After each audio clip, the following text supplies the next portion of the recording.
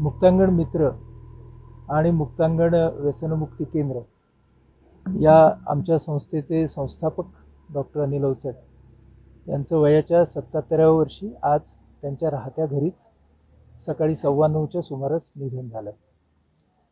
Doctor Anil Avachat यांना आपण एक सव्यसाची लेखक आणि पत्रकार म्हणून तर ओळखतोच.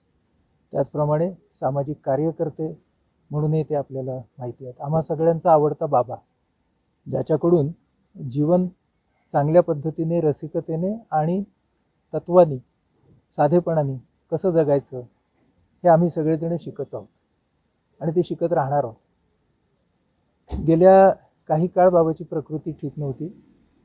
पण निमित्त झालं ते पंधरा जानेवारीला तो पडला आणि त्याच्या पायाला फ्रॅक्चर झालं. त्याच्यावरती शल्यक्रिया झाली. पण त्या सगळ्यामधून तो काही सावरला नाही. म्हणून आम्ही सर्व कुटुंबियांनी तीन दिवसापूर्वी असा निर्णय घेतला की आता त्याला त्याच्या वातावरणामध्ये त्याच्या सगळ्या निर्मितींच्या बरोबर आणि त्याच्या आवडत्या माणसांच्या सहवासात त्याचे शेवटचे जे काही काळ राहिलेला आहे तो त्याला व्यतीत करता यावा.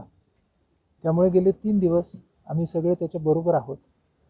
आणि तो जरी आमच्याशी बोलत नसला तरी आम्ही त्याच्याशी संवाद साधत आहोत. तर अतिशय शांतपणे त्याने हे निर्वाण त्याचं झालं असं मी म्हणेन. आणि मला असं वाटतं की त्याच्यामधल्या अहमभावाचं मीपणाचं निर्वाण तर खूपच आधी झालं होतं. हे फक्त त्याच्या शरीराचं निर्वाण आहे असं म्हणता येईल.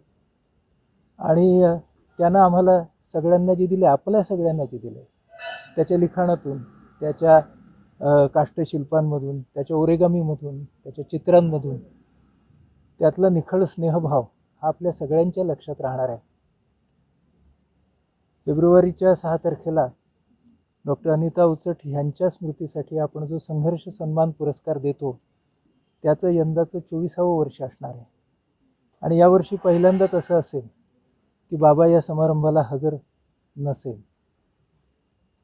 हा त्याचा इलाज नाही. पण पुढच्या वर्षी संघर्ष सन्मानचं पंचवीसावं वर्ष असेल त्या वर्षीपासून आम्ही मुक्तांगण मित्रतर्फे डॉक्टर अनिल अवचट ह्यांच्या स्मृतीसाठी सृजन सन्मान पुरस्कार देण्याचं नक्की केलं आहे